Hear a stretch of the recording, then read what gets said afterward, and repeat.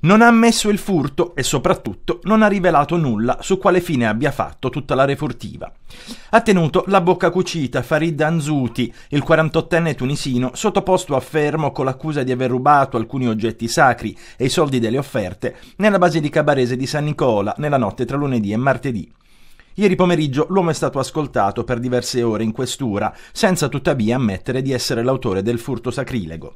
Sarebbero però fin troppe le prove che lo inchiodano i filmati delle telecamere di sicurezza, le impronte digitali lasciate nella basilica e poi dei soldi. 1750 euro in banconote da 20 e 50 euro trovate dalla squadra mobile nel casolare abbandonato del rione Riapigia dove il 48enne era stato rintracciato. Denaro che secondo gli inquirenti potrebbe essere la somma intascata dal ladro dopo la vendita della refurtiva.